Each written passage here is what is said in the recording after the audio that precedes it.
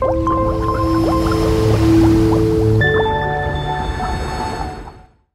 welcome to Simply Scuba. Here we have the Cressi Easy Float Buoy.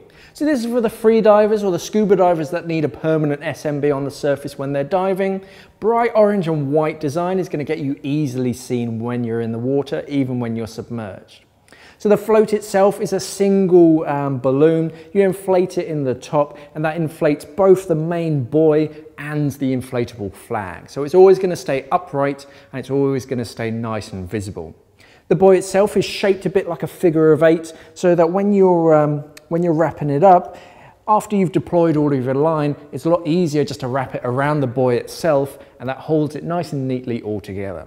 Comes as well with a, um, a loud whistle so you can be easily found when you need to be. On the underside, Yes, you have the attachment point to attach your line to. You also have two lead weights. That means that it's always going to stay upright with the lead holding it down. So if you need a small, lightweight um, surface marker buoy, take a look at the Cressi Easy Float Buoy. If you missed our latest episode of Weird Wednesday, you can click on this link up there to watch that. Thanks for watching and safe diving.